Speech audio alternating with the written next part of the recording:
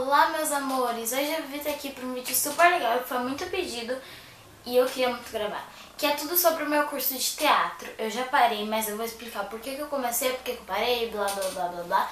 Tudo que vocês querem saber. Então, se você também quer saber, é só você continuar assistindo o vídeo até o final. E vamos lá, porque tá super legal e já dá um like, tá bom? Então, vamos ao vídeo. A primeira pergunta, sempre que todo mundo me fala, é por que, que eu comecei a fazer teatro. Bom, eu comecei a fazer, na verdade, porque uma amiga minha tava fazendo e numa das vezes que eu fui na casa dela, minha mãe, enquanto tipo, eu tava arrumando minhas coisas pra ir embora, a mãe dela e minha mãe estavam conversando e ela falou, ah, a, a fulana começa a fazer, ela tá fazendo, já fez uma aula de teatro, né? E eu era muito vergonhosa, muito mais do que eu sou hoje, vocês podem imaginar como era. E aí minha mãe achou super legal e falou, ah, eu vou te escrever. Eu, não, mãe, não, eu tô com vergonha. Mesmo assim ela me escreveu, então e aí eu lembro que eu falei que, eu, tipo, eu e a minha amiga falando, ah, a gente tá fazendo teatro, e todo mundo quis fazer também, das meninas. E aí chegou todo mundo junto. Só que quando a gente chegou todo mundo junto, eu percebi que a gente era diferente das outras pessoas. Porque, tipo, a gente tinha 10 anos, né, naquela época, foi em 2012. Tipo, todo mundo tinha gente de 30, 18, 17, 16, 15, 20, de um monte de idade. E a gente se sentiu meio excluída, porque todo mundo meio que olhava pra gente, a gente morria de vergonha, e todo mundo olhava pra gente, tipo, meio que de lado. Mas a gente continuou. Depois de um tempo, a gente já tava super enturmada com todo mundo, enfim. E, e aí eu continuei. Aí eu fiz um ano, que eu tenho certificado de... Que eu tenho certificado de um ano. E aí eu comecei um novo módulo, que são, eram quatro módulos, durava quatro anos, no caso eu acabaria esse ano, mas eu parei então, né? Eram quatro módulos, então era igual na faculdade. Em vez de semestre, era separado por módulos. Então a faculdade durava quatro anos e a mesma coisa acontecia com o curso de teatro, que era praticamente uma faculdade. Então era tipo você tá na Wolf, né? Não, não sei como vocês falam. Enfim. E aí eu terminei o primeiro módulo, a gente fez a apresentação, várias peças e tal, tal, tal.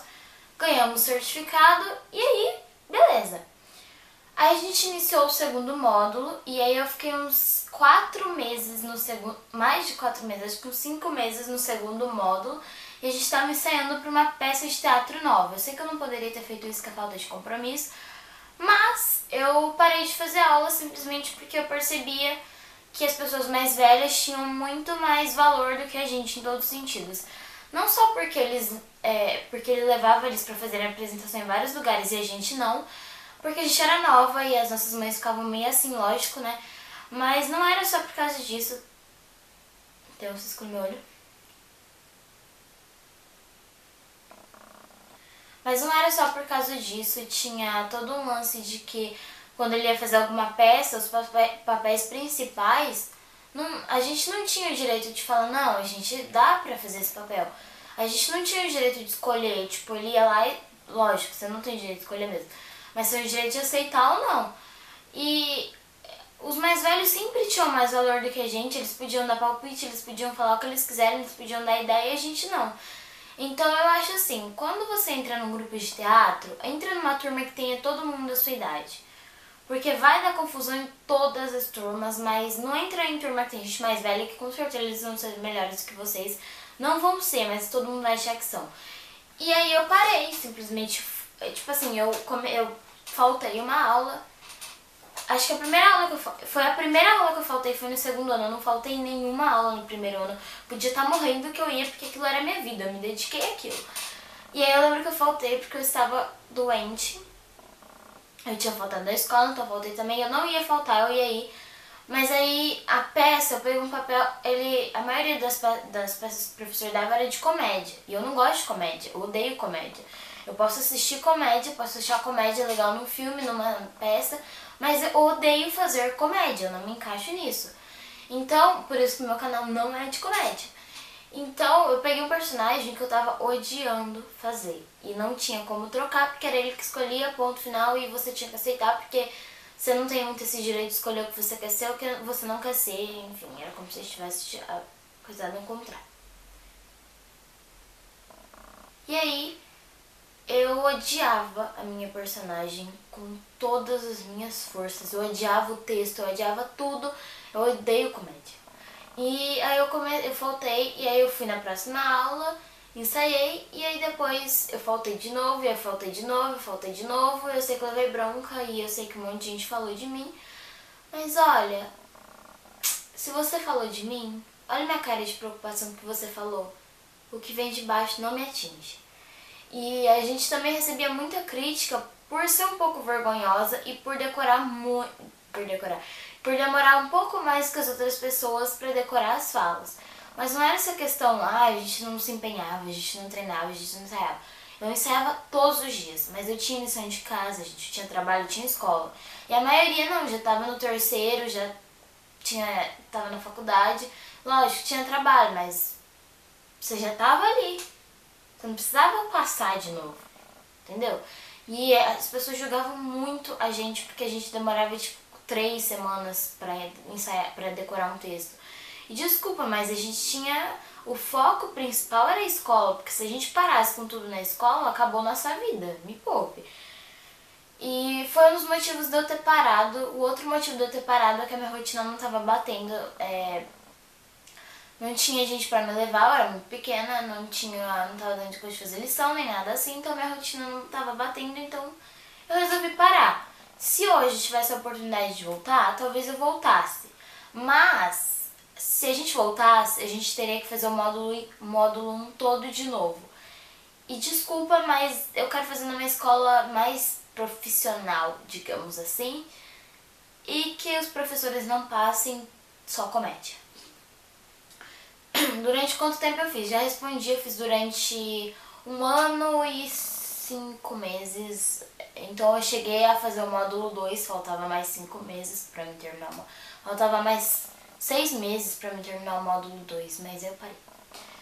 Peças que eu fiz. Eu fiz é, teve uma apresentação no final do ano, que foi tudo que a gente aprendeu durante o ano, durante o ano. E aí era, eram três sketches, né, que fala três peças curtas. E aí uma eu, eu, participava de duas e tinha outra que era só dois atores. E aí eu participava de uma que eu fazia uma pessoa normal e na outra eu fazia um fantasma. Isso não é muito legal, mas tudo bem. Mas foi muito legal, eu adorei fazer essas peças porque elas não eram tão de comédia. Assim, era de comédia, mas não era tão comédia. Então eu gostei de fazer. E aí depois a gente ensaiou pra uma peça no hospital, mas era comédia. E como assim, cara? Se abrir um paciente lá. Enfim, odiei essa peça. E aí eu nem fiz, eu larguei tudo que se dane, enfim, nem sei se ele arranjou alguém pra botar no meu lugar. E eu sei que depois eu parei, minhas amigas também pararam, parou todo mundo e, e dane-se. Como era? É, a gente fazia quatro. Não. Começava duas e alguma coisa, duas horas. É, duas e alguma coisa, eu acho. Terminava quatro e alguma coisa, ou cinco horas, me lembro. Eu sei que dava tempo de eu chegar e assistir Malhação. E era toda terça-feira, é isso. E assim, era muito legal porque a gente chegava, a gente pegava, a gente ensaiava. Quando a gente tinha uma peça, a gente ensaiava. Se não, a gente pegava e, tipo assim, eles separavam em grupos e a gente tinha cinco minutos para montar uma mini peça, uma sketch, e apresentar. E improviso total, né? Vamos combinar. E essa parte dos grupos era muito legal, confesso pra vocês. Enfim, e aí cada um apresentava, ele falava que tava bom, que não tava, e blá blá blá blá blá. É, a gente tinha também as aulas, tipo, que... Coisas que você não poderia fazer no palco e blá blá blá blá blá. E essa era a parte legal. E acho que tinha mais de 20 pessoas na minha, na minha turma, com certeza. Enfim, a gente, a gente, se hoje tivesse, tem ainda, só que a gente parou, a gente ia virar uma companhia de teatro da cidade, porém, né, né? Coisas que eu aprendi com o teatro. Eu aprendi que você nunca pode ficar de costas pro público, porque ninguém quer te ver de costas.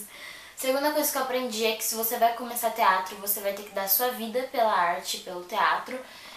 Então se você tá na época de escola, você vai sofrer um pouco com isso. E foi um dos motivos que me fez desistir. A outra coisa é que você vai ter que batalhar muito e vai ter que se dedicar muito, porque senão os mais velhos sempre vão ser melhores do que você, enfim. A outra coisa que eu aprendi é que não tem essa de você escolher ou não um papel. partir do momento que você tá ali, você fala, não, eu tô disposta a tudo pelo teatro, você tá disposta a aceitar qualquer papel. Mas foi um dos outros motivos que me fez desistir. Talvez se hoje eu tivesse uma outra escola, eu não desistiria. Mas, gente, só tinha comédia, cara. Eu já falei mil vezes, eu não gosto de comédia. Não me bota pra fazer comédia que não vai sair nada bom. Pelo amor de Deus. E outra coisa que eu aprendi com o teatro é que o teatro é muito mais do que o teatro. Ele vai muito além do, muito mais além do que o teatro, porque tem toda a expressão corporal. A maquiagem faz toda a diferença, o figurino faz toda a diferença. É, musical é uma forma de, é uma peça de teatro também. Você tem que saber dançar, cantar, enfim. E a vergonha, ela vai ser evidente. Todo ator tem um pouco de vergonha, mas ela vai ter que ficar lá na coxia, coxia enquanto, enquanto você se apresenta, porque é impossível. E a sua primeira peça de teatro, você não vai conseguir olhar para o público, você vai ficar olhando na linha do horizonte. Talvez isso pode te atrapalhar um pouco. E nada de ficar olhando pro lado toda hora, olhar pra cara do outro para tentar lembrar. E outra coisa, nunca esqueça seu texto treine ele 550 mil vezes. E, e, o que foi muito legal foi que eu não esqueci nenhuma fala, Deus. Obrigada, arrasei. Enfim. O que mudou depois que eu fiz teatro? É, eu era muito mais vergonhosa. Muito mais, muito mais. Tipo, do verbo muito mais. E eu confesso que eu não apresentava trabalho, eu odiava apresentar, eu odeio até hoje. odiava apresentar trabalho, eu não conseguia falar com ninguém, eu era péssima, eu não falava nem bom dia porque eu morria de vergonha. Enfim, Naquela época eu não postaria nem vídeos no YouTube. Mas aí eu perdi um pouco dessa vergonha, ainda tenho vergonha. Mas hoje eu faço muitas das coisas que antes eu tinha vergonha, enfim.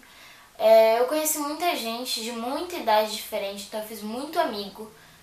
Onde eu imaginaria que eu teria amigos de 30 anos de idade? Pois é.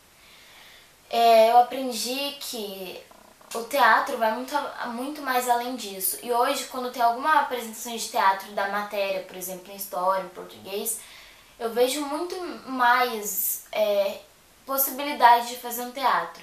E eu acho que o teatro não é só questão de você ser a melhor, mas o seu grupo tem que ser bom. Porque esses dias a gente teve uma atividade que eu odiei o meu grupo, com certeza, porque tinha uma pessoa que a gente não podia dar nenhuma palavra, a gente não podia dar nenhuma ideia, nenhuma dica. Só ela podia falar. Como se ela fosse a melhor do universo e só ela podia falar, só ela podia dar ideia, só ela podia escrever o texto. E queridinha, quem fez teatro aqui foi a gente, não você.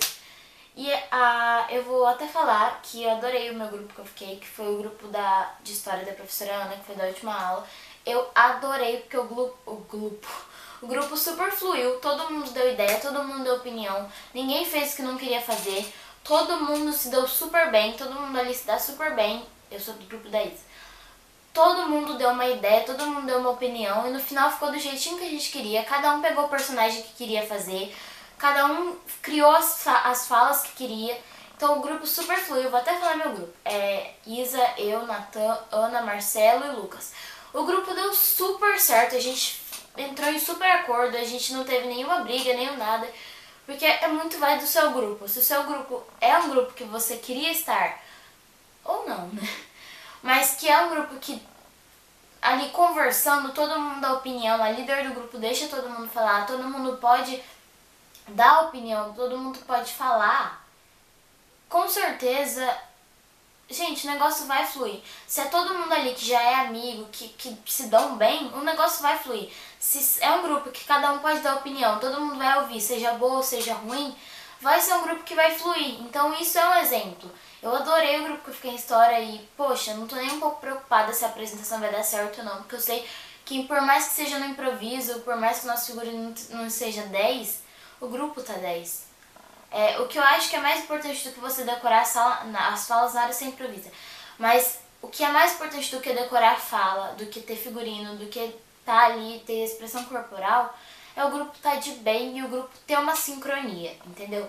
Agora o outro grupo da outra matéria saiu um completo desastre. Essa é a verdade. E assim, a líder do grupo foi um desastre, plenamente desastre, completamente. Enfim. Meu grupo de história, a gente vai arrasar, porque a gente é muito divo. É, em que me ajudou? Foi o que eu disse, foi a mesma coisa do que mudou. é, o que me ajudou foi a ver o teatro de uma forma diferente. Eu nunca imaginava que o teatro era tudo aquilo. Nunca imaginava que eu podia perder um pouco da minha vergonha com o teatro. Nunca imaginava que eu podia apresentar para tanta gente que eu apresentei. Nunca imaginava que eu fosse conhecer aquele tanta gente que eu conhecia que morava tão perto, eu nunca tinha conversado. Nunca imaginava que eu ia conseguir decorar três textos de uma vez. Sim, gente, eu consegui. Nunca imaginava que eu ia conseguir fazer peças de comédia, conseguir. Enfim, tanta coisa que eu nunca imaginei que eu fosse fazer. E eu acho que, com certeza, se hoje. Não que eu vá voltar, mas se eu mudasse do dia pra noite, hoje eu voltaria a fazer e eu me dedicaria dessa vez. Então é isso, se vocês tiverem mais alguma dúvida sobre o meu curso de teatro que eu fiz, parei, vou ler aqui pra vocês. Certificamos que Vitória Souza Silva Ferreira participou da oficina de iniciação teatral ministrada por fulano de tal, DRT tal. Ah, DRT é aquela coisinha que você precisa tirar para entrar numa emissora ou numa companhia teatral que pesquisa na internet vocês vão achar. Durante o ano de 2012, totalizando 40 horas. É, 18 de dezembro de 2012, blá blá blá blá, blá enfim. E ponto. E foi muito legal e eu agradeço todo mundo que participou junto de todo esse projeto, ao professor também, a toda a equipe, a todo o grupo, a todo mundo que virou meu amigo. Então, espero do fundo do meu coração poder ver vocês de novo.